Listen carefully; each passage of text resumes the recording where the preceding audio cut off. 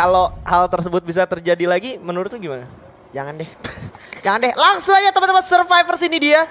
Map kita yang ketiga di challenge final. Ya. Masih di hari pertama. Ya. Starting pesawat masih lumayan nguntungin untuk Onyx Olympus. Tapi RRQ Kazu setidaknya mereka bold di drop zone mereka sendiri.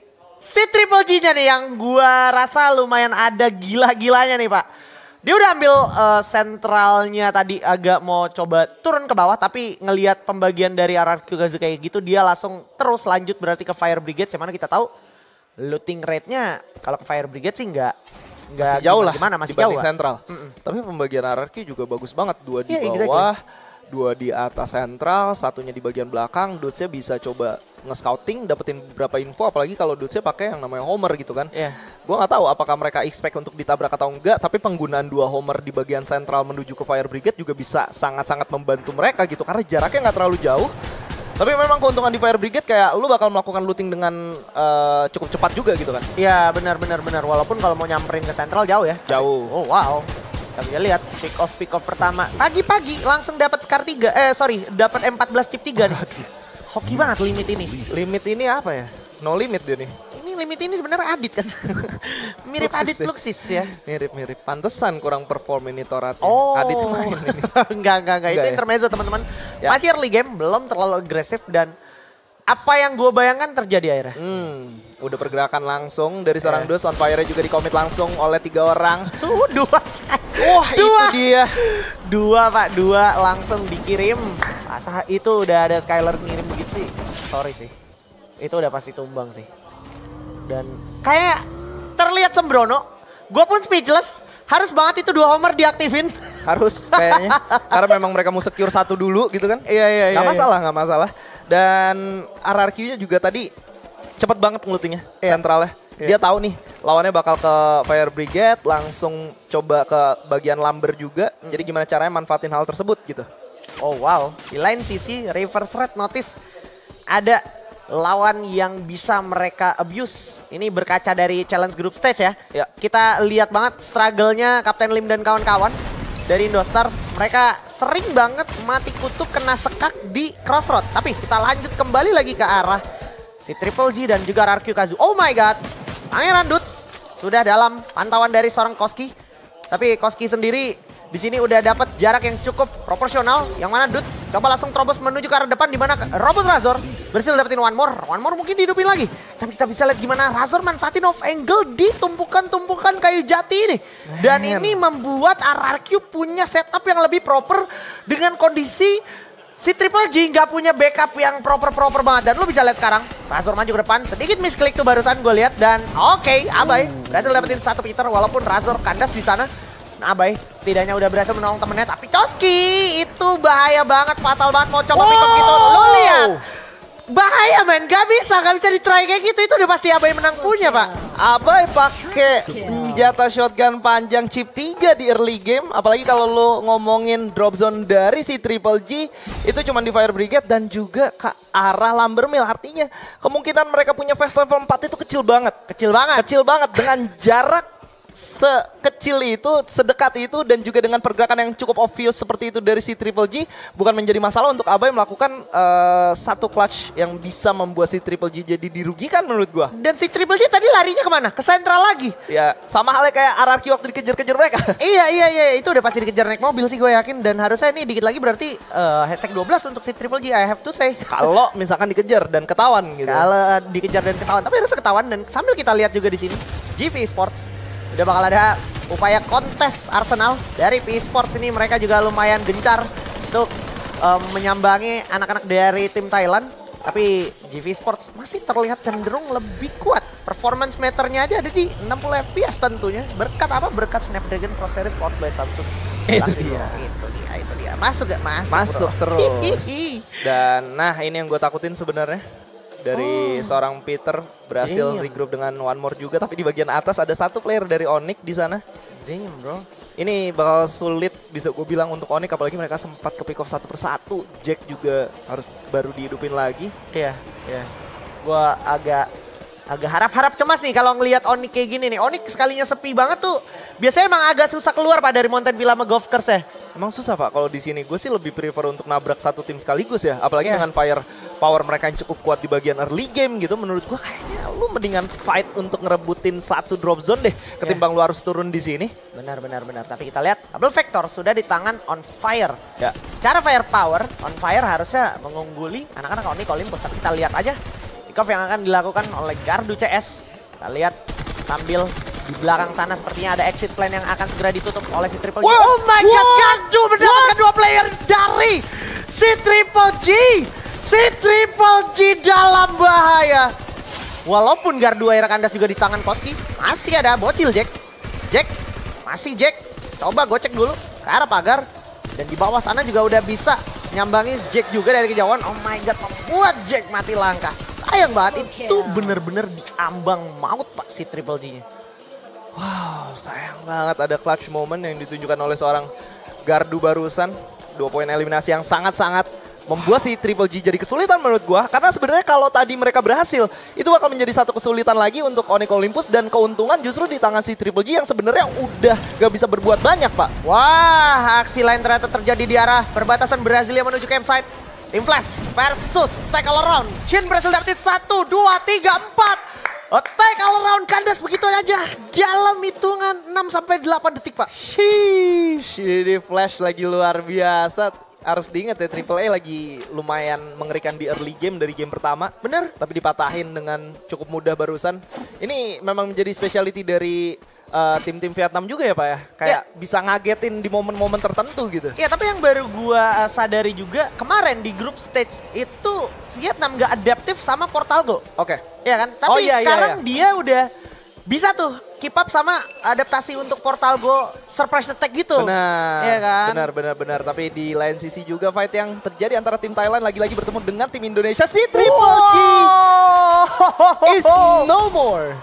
Tiga game dan si Triple G nggak dikasih angka sama sekali dan itu yang nabrak benar-benar dari tim Indonesia Rarkyu Kazu dan sambil kita lanjut ke tim Torat kali ini lakukan fight lawan GV Sports. Di mana kita tahu GV Sports start dari Rafield Tapi tim Torat kali ini harus dipojokkan bahkan udah di luar zona. Nggak dalam kondisi yang baik-baik saja tim Torat nggak banyak yang bisa gue harapkan dari momentum seperti ini jujur aja. Karena hanya bisa berlandaskan satu personil aja Kapten Darkol. Dengan kondisi Kapten Darkol udah ke notice sama Protetai dan juga Orgus dia menggunakan vehicle harusnya bakal ditatakin terus ditembak-tembak terus menggunakan Woodpecker. Tapi untungnya masih bersama Dewi Fortuna masih berhasil selamat. Dan untungnya lagi Darkol nggak greedy untuk stay ke Arsenal. Iya. Dan tadi kayak kan openingnya udah bagus banget ya. Yang Iya. ditunjukin sama Torat. Torat berhasil dapetin satu. Kalau gua nggak salah itu Lozi juga yang buka. Berhasil take down seorang limit. Artinya kan supportnya di belakang udah nggak ada. Iya. Tapi limit berhasil dihidupin lagi barusan yang ngebuat mereka jadi lengkap lagi. Dan gua nggak tahu gimana ceritanya Torat pakai portal go-nya kenok dua player pak. ya Itu winning conditionnya udah 80% di Torat menurut gua. ya lagi-lagi misplay misplay dari Torat ini Gua nggak tahu ledakan, gua nggak tahu landmine, tapi yang terjadi ketika mereka menggunakan portal go itu, aduh, Ya, ya, ya, ya. Eh, gua notice betul apa yang Bung Kela sampaikan teman-teman. Jadi eh, semoga Torat masih bisa mengembalikan ketajaman performa mereka.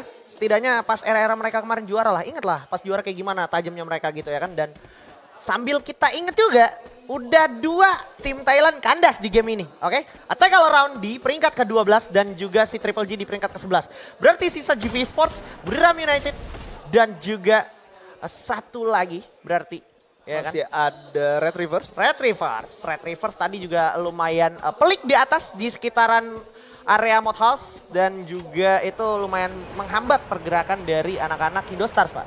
Yes, dan kalau kita lihat zona masih bergerak lagi, nice. mengerucut lagi menuru- menuju ke arah Brasilia.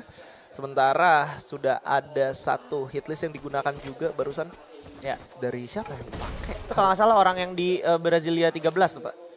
Oke. Iya. Dan kalau kita lihat ini dari posisinya Indostar sendiri bakal menjadi satu hal yang cukup sulit kalau mereka nggak memikirkan matang-matang gimana caranya bergerak dari posisi mereka karena sebenarnya di belakangnya eh, di kiri mereka ada tim flash di dalam zona selanjutnya juga ada yang nunggu mereka gitu kan tapi mereka memilih untuk menggunakan vehicle mereka untuk coba stay di dalam satu kompon yang sudah mereka pilih di tengah-tengah dan ini kompon yang menurut gua nggak banget untuk di defense. Oh, ternyata itu hit list dari RRQ Abai menuju ke arah Buriram United teman-teman. Dan Circle ada di sana. Onyx Olympus juga masih hidup kembali, masih bisa survive kembali. Tapi gua rasa Onyx yang paling compang-camping pak kali ini. Oh iya jelas. Mereka cuman eh, hidup dan mati aja. Dan Ah. kenapa gue bilang di sini nggak menjadi kompon yang cukup baik? Oke, lu punya kompon, tapi kalau kondisi memaksa lu untuk melakukan fight, semuanya bakal masuk ke sini. Entah di bagian atas, entah di bagian bawah, dan terlalu banyak exit way yang harus kalian jaga. Tapi nggak apa-apa, kita bakal lihat gimana hasilnya. Karena mereka sudah at least mendapatkan satu tempat yang mereka inginkan. Todak harus berhadapan juga dengan teman-teman dari Buriram United kali ini.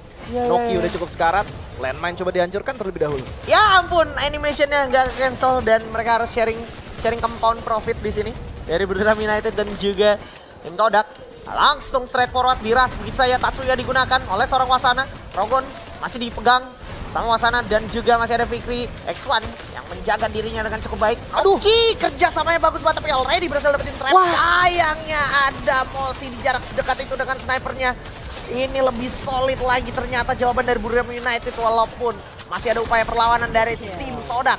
Todak sisa sendiri aja dan sayang sekali Todak gak bisa keep up lagi. Buriram United berhasil dapetin 8 poin eliminasi tapi Indo Stars akan melakukan upaya super attack bakal masuk ke dalam kamar dari Buriram United yang lagi compang-camping. Ayo dong kita lihat POV dari Indo Stars. Oh my god Indo Stars narik lagi ternyata Boom Skyland dan RRQ Kazu punya fokus yang berbeda karena oh ini jadi galau banget.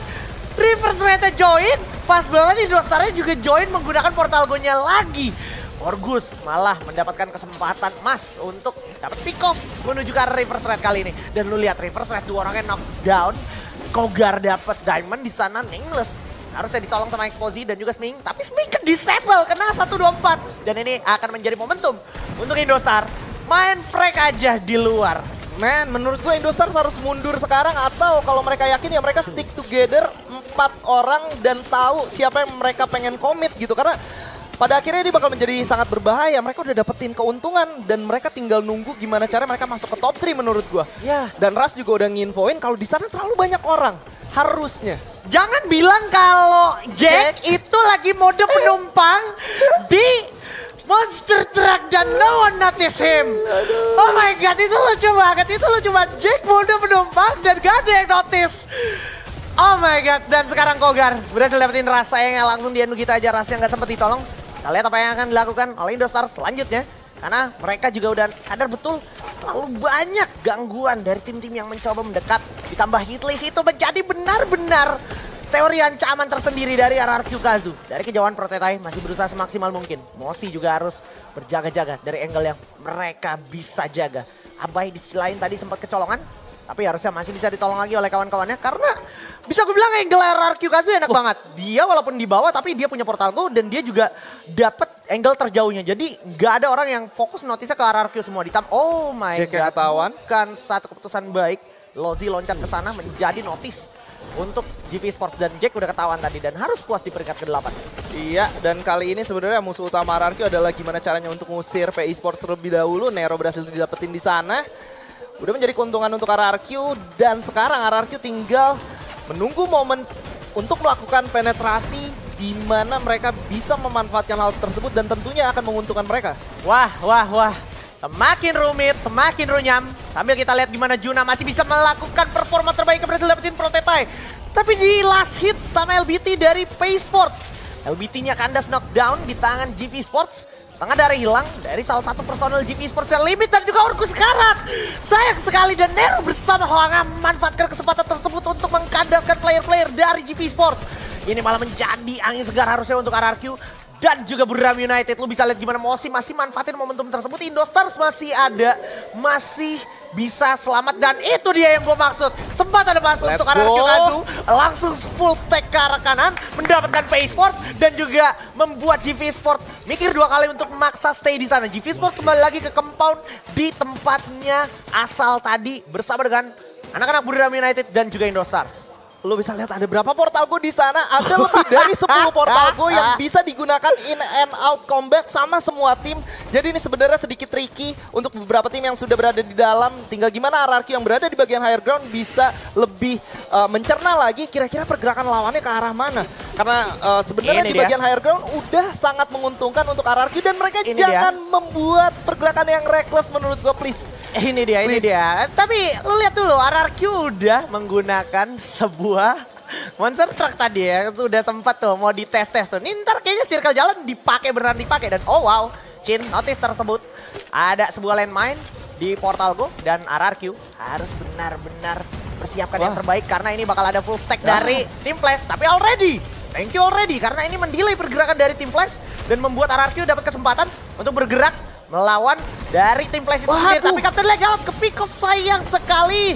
Dan langsung dia begitu saja. Tim Flash tapi masih bisa dihajar oleh Abai. Dan juga Buram United bantuannya dari kejauhan lumayan berimpact. Tapi sayangnya sisa Razor aja sendiri. Gak bisa bertahan lebih lama lagi. Indo Stars masih ada tiga orang. Dan ini masih menjadi peluang. Bahkan untuk Buriram United. Lu bisa lihat Buriram United. Kalau dibiarin sampai late game. Ini yang akan terjadi kepada mereka. Mereka bakal menguasai nyaris seluruh map. Bahkan Razor masih bisa menghidupkan kembali Dut di sana. Dut dapat satu orang Ektindir. Fokusnya udah mulai kebagi. Di belakang masih ada Lozi yang belum ternotis. Tapi Kocel sayangnya berhasil mendapatkan Dut di sana. Nggak bisa ketolong lagi Dutnya. Benar-benar sisa Razor aja memberikan distraksi. Menggunakan monster truck. Dan bakal menjadi pusat perhatian dari anak-anak Indostars dan juga Buriram United serta tim Torat yang sisa sendiri aja di sini. Mosi bersama kawan-kawannya udah tinggal absenin orang-orang yang tersisa Wasana berhasil dapetin Razor. Harus kandas di peringkat keempat. Begitu juga dengan tim Tora terus kandas peringkat ketiga. Dan sisa Indostars. 4 lawan 2. Apa yang bisa dilakukan oleh anak-anak Indostar? Kapten Lim kandas. Dan Kocel juga saat lagi harusnya bakal kandas walaupun dia masih berhasil dapetin satu player dari Buriram.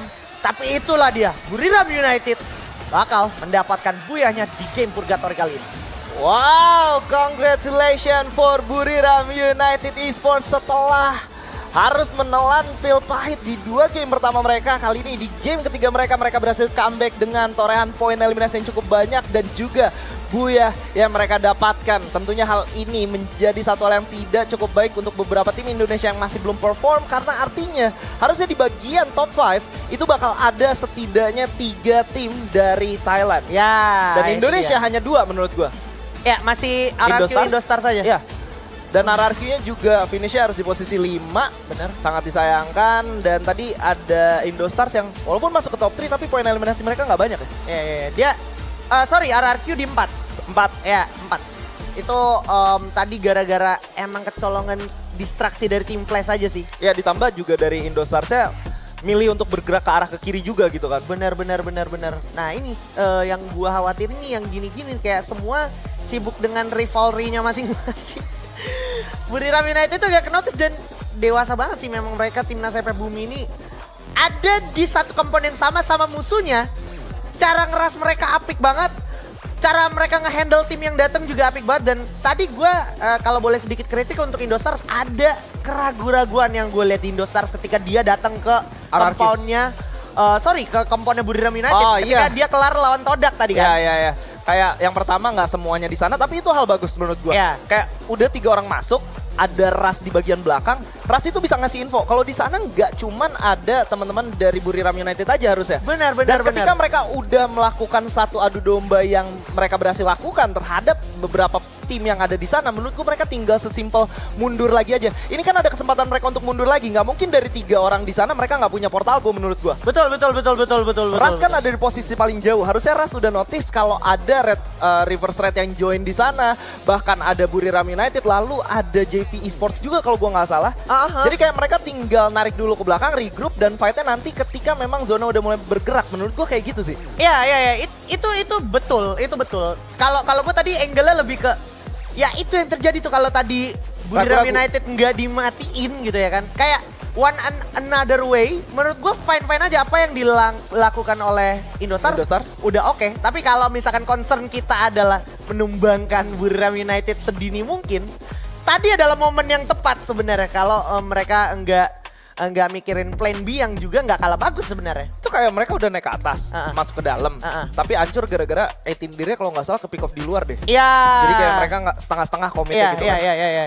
Dan rasanya juga memang nggak masuk ke sana. Maksud gue kayak kalau emang mau komit, komit sekalian gak sih? Iya, iya, Tanggung gitu kan. Sekarat semua Pak tadi Buriram United. Asli. Darahnya bener-bener low. Tapi emang JV-nya birin- nyebelin sih dari belakang. Iya, iya. Kalau nggak ada JV sih gue rasa rasanya juga ketika udah tahu pada sekarat rasanya bakal langsung masuk ke eh, pertempuran juga pakai portal gue juga gitu kan. Ya ini menjadi catatan dan PR penting menurut gue untuk tim Torat karena berarti pawangnya Jeffy harusnya di Purgatory adalah tim Torat. Benar. Ya kan kalau misalkan lu bayangin tadi tim Torat itu bisa handle Jeffy dan bikin Jeffy mental nggak bisa uh, menguasai titik-titik tersebut ya kan itu udah pasti Torat lancar At dan least top 3 lah. at least top 3 dan gak ada gangguan harusnya untuk momen-momen kayak Indostar-nya mungkin, RRQ-nya mungkin ketika lagi uh, melakukan eksekusi tersebut.